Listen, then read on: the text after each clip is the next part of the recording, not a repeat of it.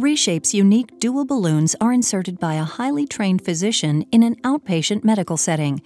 The procedure lasts about 20 minutes. During the procedure, the patient is comfortably sedated under light anesthesia. An endoscope is used to insert the balloons through the mouth, down the throat, and into the stomach.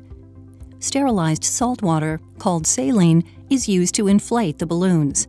Once the balloons are inflated, the endoscope is removed and the insertion procedure is complete.